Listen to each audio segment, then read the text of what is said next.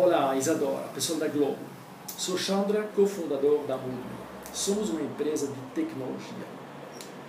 O coração da empresa é o reconhecimento facial, o entendimento da face humana, a janela da alma, para criar experiências emocionais online no mobile. Por que isso?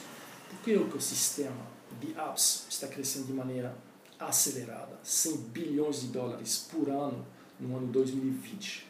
Vídeo está explodindo, 8 bilhões de vídeo visto por dia no Facebook, maior hoje do que o YouTube. Agora, é um ecossistema cada vez mais concorrido. 1.5 milhões de apps no Apple Store e também no Google Play. Em compensação, o número de apps no smartphone do usuário médio fica constante nos últimos anos 26. É cada vez mais difícil adquirir usuários, a retenção do usuário e a monetização, maior desafio ainda. Tem que ser muito criativo para captar e fidelizar um usuário numa app mobile hoje.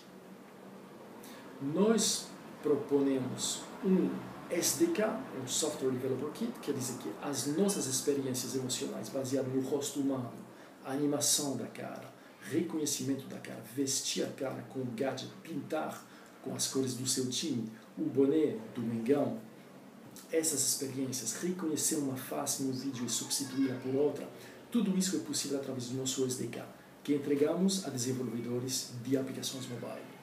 O melhor caso de uso é quando o usuário pode combinar uh, o user-generated content com o branded content. Content is king, então.